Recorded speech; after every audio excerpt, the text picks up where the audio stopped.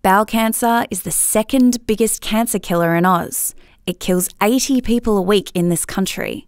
Early detection is the best defence, which is why, when people turn 50, the federal government actually mails out screening kits complete with little sticks for people to poke their poo. But amazingly, less than 40% of people use them.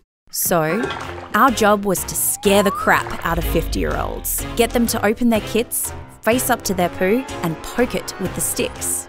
Our idea was simple enroll some seriously scary characters from popular fiction to help deliver the message.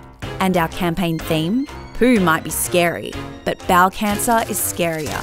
Don't be afraid to test your poo, open your screening kit, and stick it to number two.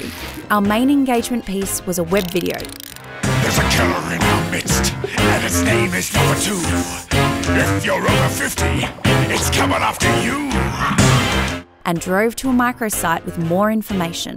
There was also a game to help people understand that testing poo was as easy as poking a stick at it. There were scary Facebook posts, and a lot of them.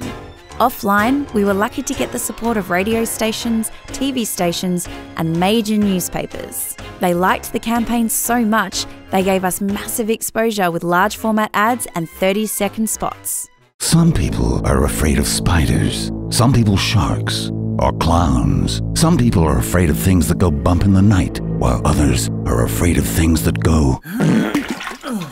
Poo phobia is a problem that because bowel cancer is our number two cancer killer. Our scary characters even turned up unexpectedly in public places. The results were impressive almost 17,000 website sessions in just weeks over 124,000 engagements on Facebook and Instagram alone.